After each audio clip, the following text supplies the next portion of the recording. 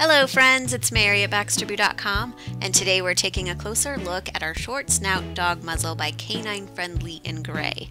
There are many circumstances in which you might need a muzzle and now we have a short snouted version that's perfect for those brachycephalic breeds. And since brachycephalic breeds have some difficulties breathing on their own anyways, it is nicely designed with a wide opening at the nose.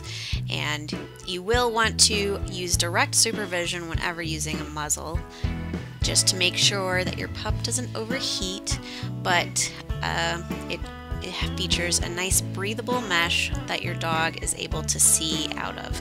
And it also features bumpers around the forehead to ensure that there's no chafing. So it has a quick snap buckle in the back and lots of adjustability so you can get the perfect fit.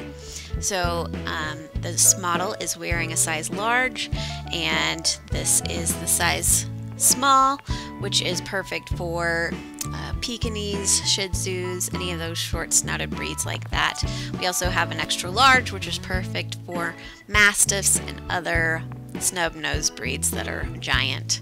So this would be perfect for groomers, also for dog trainers, anyone who's hoping to get the best behavior out of their pets.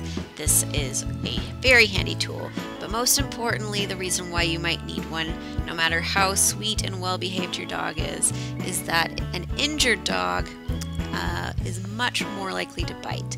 Therefore, you'll want to keep one of these in your pet's first aid kit and definitely make sure that your pet gets the treatment that they need.